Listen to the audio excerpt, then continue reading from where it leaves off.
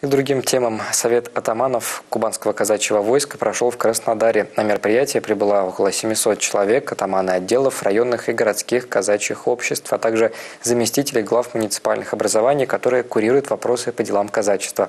Какие темы обсуждались, расскажут наши коллеги из Екатеринодарской епархии. Перед началом мероприятия все участники собрания получили в подарок небольшую брошюрку о том, что является центральным событием христианской жизни – о воскресении Христовом.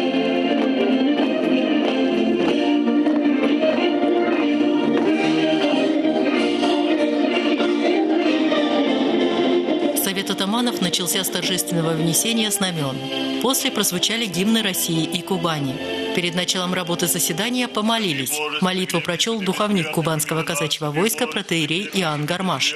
В Совете приняли участие глава Кубанской митрополии, митрополит Екатеринодарский и Кубанский Исидор и председатель Синодального комитета по делам казачества Московской Патриархии, митрополит Ставропольский и Невиномысский Кирилл. Он стал почетным гостем Совета. В докладе, с которым обратился к казакам митрополит Исидор, владыка отметил положительные изменения, которые произошли в казачьей среде за прошедший год.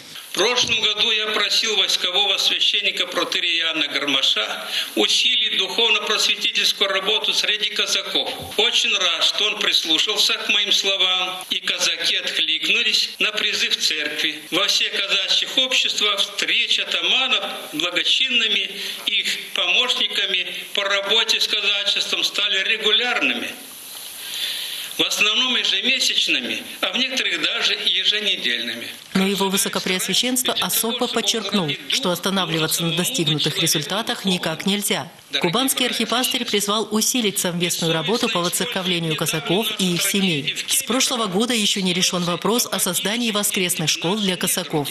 Митрополит Ставропольский и Невномысский Кирилл по указу патриарха Московского и всея Руси Кирилла вручил юбилейную медаль в память столетия восстановления патриаршества в Русской Православной Церкви войсковому атаману, казачьему генералу Николаю Далуди и духовнику кубанского казачьего войска протеерею Иоанну Гармашу.